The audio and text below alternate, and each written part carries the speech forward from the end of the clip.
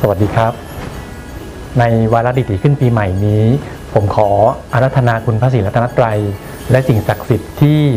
ทุกท่านเคารพนับถือนะครับดลบันดาลให้อาจารย์ บุคลากร นักศึกษาทุกท่านนะครับ มีสุขภาพแข็งแรงและมีความสุขตลอดปีและตลอดไปครับ สวัสดีครับ